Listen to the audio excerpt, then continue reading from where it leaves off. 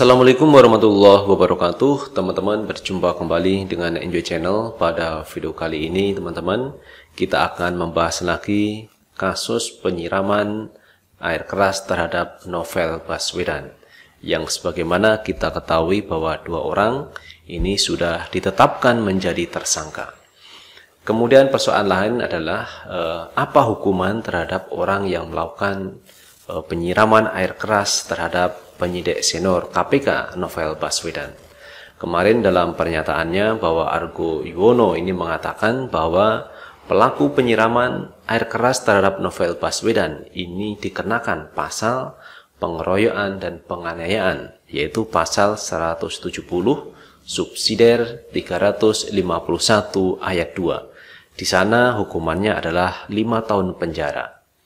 Sementara itu teman-teman, tim advokasi dari uh, Novel Baswedan mengatakan bahwa pasal yang dikenakan ini bisa pasal 55 yaitu penyertaan tindak pidana di mana pasal ini pernah disematkan atau pernah dijatuhkan pada Polikarpus sebagai tersangka kasus pembunuhan Munir. Ini teman-teman pernyataan dari tim kuasa hukum dari Novel Baswedan. Nah, itu teman-teman beberapa pendapat mengenai pasal yang akan dikenakan terhadap dua pelaku penyiraman air keras terhadap novel Baswedan. Sebelum kita lanjut, silahkan teman-teman tekan tombol subscribe dan tanda lonceng notifikasi agar tidak ketinggalan video-video terbaru dari kami.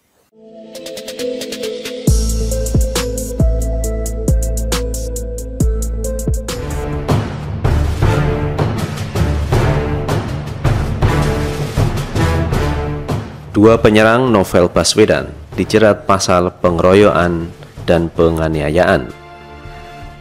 Dua oknum polisi pelaku penyerangan terhadap penyidik KPK Novel Baswedan ditahan untuk 20 hari ke depan.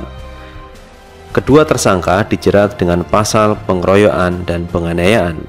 Pasal 170 KUHP subsidiar 351 ayat 2 KUHP ujar Karo Pemnas Divisi Humas Polri Brigjen Argo Yuwono saat dimintai konfirmasi pada hari Minggu 29 Desember 2019. Sebelumnya, pelaku penyerangan Novel Baswedan ditangkap di kawasan Cimanggis, Depok pada hari Kamis 26 Desember 2019 malam. Setelah pemeriksaan intensif, kedua polisi aktif berinisial RM dan RB itu ditetapkan sebagai tersangka pada hari Jumat 27 Desember 2019 pagi. Kedua tersangka berinisial RM dan RB kini telah ditahan di Baris Krim Polri. Keduanya akan menjalani pemeriksaan intensif terkait penyerangan tersebut. Kita tahan 20 hari ke depan, tentunya juga nanti masih melalui proses-proses penyidikan yang lain nanti penyidik akan segera menyelesaikan daripada kasus ini. Tutur Argo Yuwono. Wakil Ketua KPK Nurul Gufron sepakat pelaku penyerangan terhadap penyidik KPK Novel Baswedan dijerat pasal pengeroyokan dan penganiayaan. Namun pasal penganiayaan itu bisa dikembangkan jika ditemukan fakta baru soal motif pelaku. Kalau anu penganiayaan berat karena kemudian efek berdampak tetap menimbulkan kecacatan. Kalau memang didakwa atau dijerat pasal itu saya sepakat, kata Nurul pada hari Minggu 29 Desember 2019. Nurul Gufron menyebut perbuatan pelaku tidak mengarah pembunuhan. Alat yang digunakan pelaku disebutkan bertujuan mencederai novel, bukan membunuh tidak mengarah ke sana rencana pembunuhan, tidak menunjukkan alat atau instrumen yang digunakan. Hanya memang untuk mencederai, bukan untuk membunuh. Misalnya kalau membunuh dengan bom molotov, kalau itu bisa arah pembunuhan. Kalau cairan keras ingin menimbulkan kesakitan atau teraniaya korban, jelas Gufron. Meski begitu ia menjelaskan, ada hukuman pemberatan untuk pelaku karena novel sebagai penegak hukum. Apalagi kemungkinan serangan itu berkaitan tugas novel yang sedang menangani perkara korupsi. Jadi kami sepakat cuma nanti ada pemberatan karena mungkin berkaitan Pak Novel sebagai aparat penegak hukum tentu penganiayaan mungkin ada hubungannya dengan apa yang dia tangani nanti bisa dikembangkan pemberatannya tutur Nurul Gufron sebelumnya Karo Penmas Divisi Humas Polri Brigjen Argo Yono menyatakan pasal yang menjerat kedua tersangka penyerang novel adalah pasal 170 KUHP subsidiar pasal 351 ayat 2 KUHP. Argo menyebut tersangka terancam hukuman 5 tahun penjara. Sementara itu teman-teman, menurut tim advokasi novel, Baswedan menyebut kasus tersebut bukan tindak pidana biasa. Pasal ini menghilangkan dimensi kasus novel yang bukan tindak pidana biasa, kata tim advokasi novel Baswedan Asfinawati saat dihubungi pada hari Minggu 29 Desember 2019. Asfinawati mengatakan seharusnya pelaku dikenakan pasal 55 KUHP tentang penyertaan dalam tindak pidana.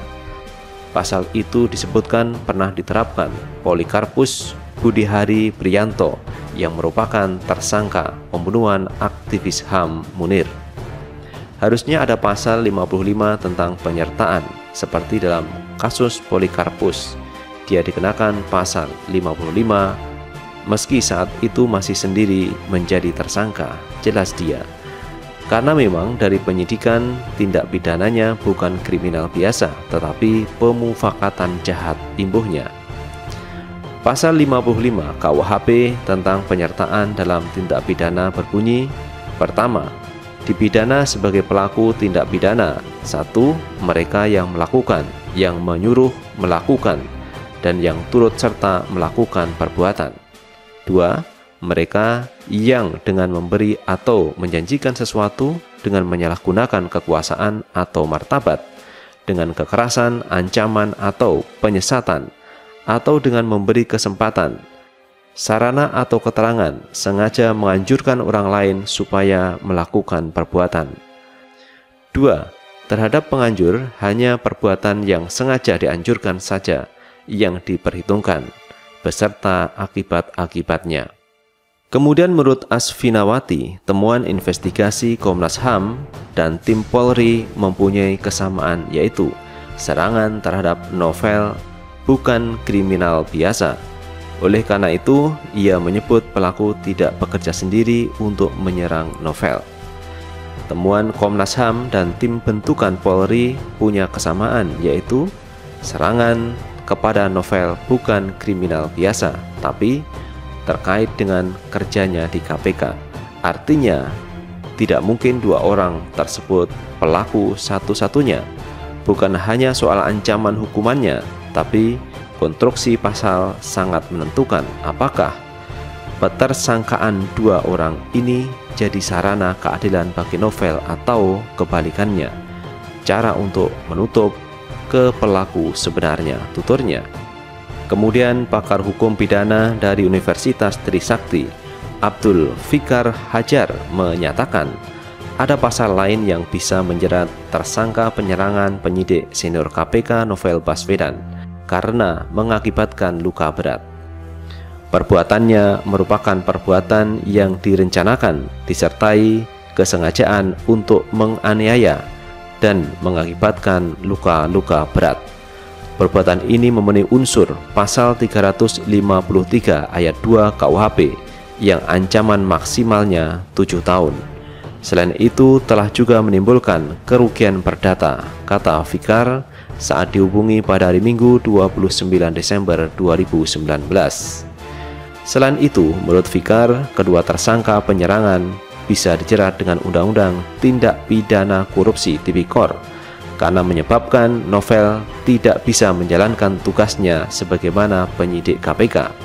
Fikar mengatakan kedua tersangka penyerangan juga bisa dipecat dari kepolisian. Namun lebih jauh jika perbuatannya sengaja agar NB tidak dapat menjalankan fungsinya sebagai penyidik KPK, maka pelaku dapat dijerat berdasarkan pasal 21 Undang-Undang Tipikor, Undang-Undang Nomor 31, garis miring 1999, Junto Undang-Undang Nomor 20 garis miring 2001 dengan ancaman maksimal 12 tahun penjara, ujar Fikar. Tuduhan KUHP dan atau Undang-Undang Tipikor karena pelakunya juga aparat negara, maka dikenakan hukuman tambahan berdasarkan pasal 10 Undang-Undang KUHP yaitu dicabut haknya dari keanggotaan polisi, imbuhnya. Fikar menyebut besar kemungkinan ada pihak lain yang bisa ditetapkan sebagai tersangka karena menurutnya tersangka yang saat ini ditangkap hanya sebagai pelaku di lapangan KUHP kata Fikar juga merumuskan pelaku tidak hanya pelaku langsung tetapi juga ada yang berada di balik kasus tersebut. KHP merumuskan pelaku tidak hanya yang langsung melakukan tetapi juga pelaku peserta baik yang menyuruh, menganjurkan atau memberi fasilitas dari kesempatan serta yang membantu melakukan pun dapat dijerat sebagai tersangka. Tapi semua itu harus berdasarkan temuan fakta di pemeriksaan, mengingat pelaku tidak mempunyai hubungan hukum apa pun dengan Novel Baswedan sebagai korban. Jelas Fikar. Nah, itulah teman-teman berita yang teraktual hari ini terkait kasus Novel Baswedan, bagaimana pasal yang akan diterapkan kepada dua orang pelaku penyiraman air keras terhadap penyidik senior KPK Novel Baswedan yang sampai saat ini masih menjadi uh, diskusi publik. Apakah pasal yang diterapkan ini lebih ringan atau lebih berat terhadap dua orang penyiram air keras novel Baswedan? Nah, teman-teman, sikap kita hanyalah menunggu informasi dari uh, penyelidikan terhadap kasus ini. Apakah yang akan dijatuhkan kepada dua orang yang telah melakukan penyiraman tersebut? Itu teman-teman yang bisa kami sampaikan, kami hanya mengabarkan dan teman-teman bisa menilainya. Terakhir, jangan lupa untuk tetap like, subscribe, dan komen di channel ini agar kita bisa membangun channel ini menjadi lebih baik lagi. Sukses selalu. Assalamualaikum warahmatullahi wabarakatuh.